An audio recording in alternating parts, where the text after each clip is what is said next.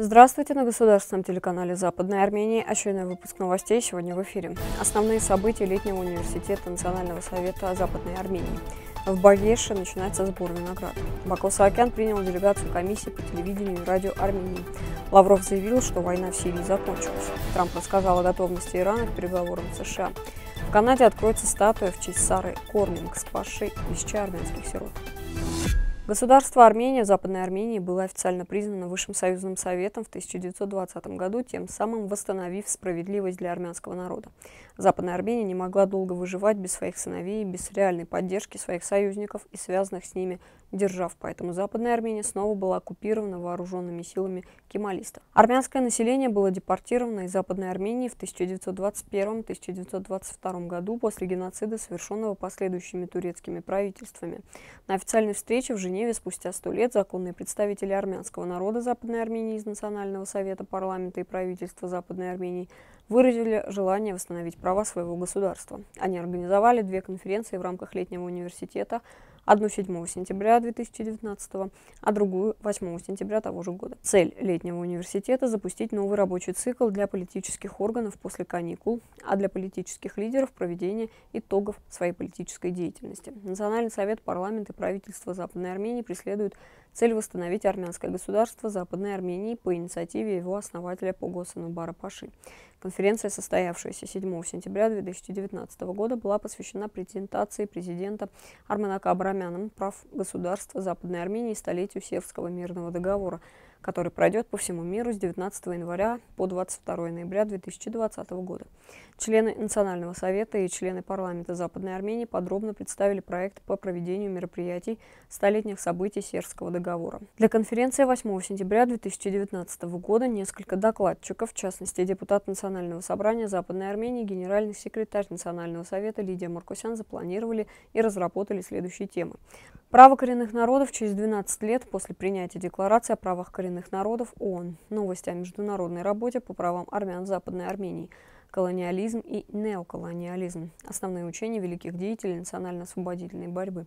Арцах и проблема автономии его населения.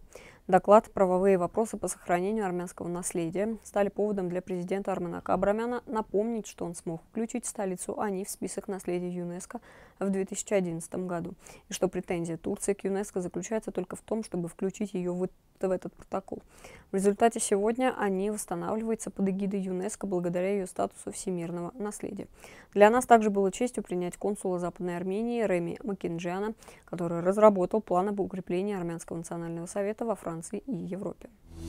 В селах Багешского района Западной Армении в этом году ожидается 12 тысяч тонн винограда. Крестьяне, которые обеспечивают виноград в регионе, из того же винограда делают изюм, душап и лаваш. Эти десерты предназначены в основном для зимнего потребления. В регионе выращивается 12 сортов винограда, из которых жители предпочитают выращивать особенно черный виноград. Как правило, виноградная продукция потребляется на внутреннем рынке. Президент Арцахской республики Бако Саакян принял делегацию комиссии по телевидению и радио Армении во главе с руководителем структуры Тиграном Акопяном. Как сообщили новости Армении, NEWS.am в пресс-службе президента Арцаха, на встрече, в которой приняли участие председатель комиссии по урегулированию общественных услуг и экономической конкуренции Арцаха Микаэл Веробян и исполнительный директор ЗАО «Общественная телерадиокомпания» Арцаха Мэри Давтян. Был обсужден ряд вопросов, касающихся расширения и углубления сотрудничества двух армянских республик – в сфере телевещания.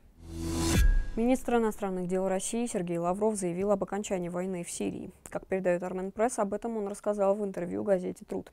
Война в Сирии действительно закончилась. Страна постепенно возвращается к нормальной мирной жизни, отметил Лавров и сказал, что отдельные очаги напряженности сохраняются на территориях неподконтрольных правительству Сирийской Арабской Республики. В частности, это Идлиб и восточный берег реки Ефрат. Министр подчеркнул, что Россия выступает за восстановление территориальной целостности Сирии. Преодоление последствий войны обеспечит безопасность и стабильность на Ближнем Востоке, отметил также он. Президент США Дональд Трамп заявил журналистам, что Тегеран настроен на переговоры с Вашингтоном, сообщает Армен Пресс со ссылкой на interfax.ru. Иран хочет встретиться, отметил Трамп. В среду агентство Bloomberg сообщило, что Трамп обсуждал в Белом доме возможность ослабления антииранских санкций. Также, по данным агентства, сотрудники Белого дома уже приступили к подготовке к возможной встрече в Нью-Йорке президентов США и Ирана. Трамп ранее неоднократно заявлял, что его целью не является отстранение от власти нынешних руководителей Ирана. Канадском городе Ярмут появится бронзовая статуя Сары Корнинг, медсестры, спасшей тысячи армянских и греческих сирот во время геноцида против армян в Турции. Бронзовая статуя, автор которой армянин из Монреаля Карен Бетросян, откроется в сентябре в рамках мероприятий, посвященных памяти Сары, сообщает армянин Weekly. Сара Корнинг присоединилась к усилиям Комитета помощи Ближнему Востоку в 1918 году. Она помогала в спасении и уходе за тысячами греческих, армянских и ассирийских сирот. В 2016 году в канадской провинции Новая Шотландия было учреждено общество Сара Корнинг Сошити в память героического подвига Сары. По словам основателей общества Дэвида и Дженнифер Чоун, работа скульптора отражает армянские корни, и Сара бы была бы глубоко тронута тем, что кто-то из этой страны и люди, с которыми она так хорошо была знакома, создали статую в ее честь сто лет спустя. На сегодня у нас все. Далее мы представим вашему вниманию Барк Ареф Комитас.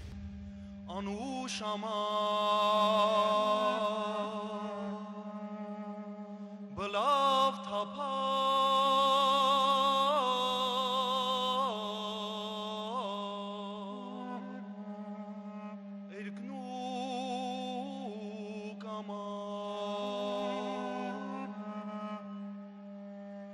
հալեց բաղձու հայու համար երգիր դարձու